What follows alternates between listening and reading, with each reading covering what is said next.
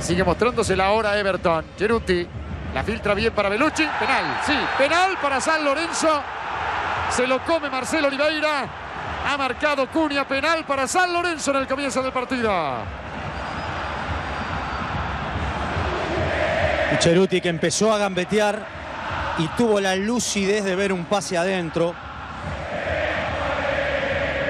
De primera instancia pareció falta. Y es adentro del área contra Belucci, no hay ninguna duda. No hay ninguna duda. Ahí se lo lleva por delante. Claro penal, señores. Se lo comió Marcelo Oliveira. Correcto el árbitro uruguayo.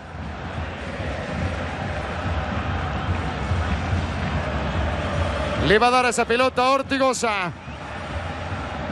Señoras y señores, en el comienzo del partido. Lo molesta Marcelo Groe. A Ortigosa.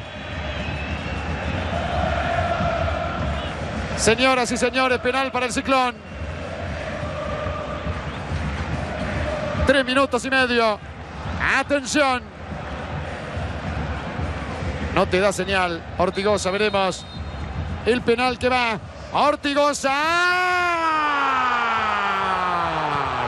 ¡Gol!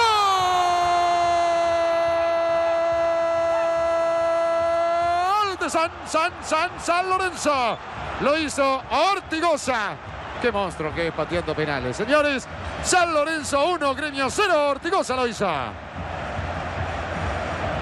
Si San Lorenzo necesitaba un gol, lo necesitaba en este minuto, en este momento del partido. Antes que todo se agite, antes de que vengan algún pensamiento en la cabeza. ¿Hay un golazo de penal? Sí, este es un golazo de penal. Abrió el pie, el arquero arrastrado para otro lado y la puso casi en el ángulo. Un golazo. 1-0 gana San Lorenzo.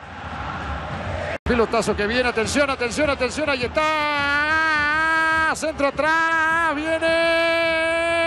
Gol. Gol de Gremio, Lincoln lo hizo. Gol de Gremio, Lincoln lo hizo. La única vez que llegaron al área. Convierten el empate, muchachos de Gremio. Volvió el público visitante a la tribuna. Uno a uno el partido La Torre. Bueno, el fútbol tiene estas cosas. No había ninguna noticia de gremio, ninguna. Ni favorable ni desfavorable, ninguna. Un pelotazo a la espalda. No hay achique, van retrocediendo. Un remate, la parecía sin ángulo. Entonces cuando la pelota pica, ahí tenía pensado el remate al arco. Cuando la pelota pica ya queda sin margen.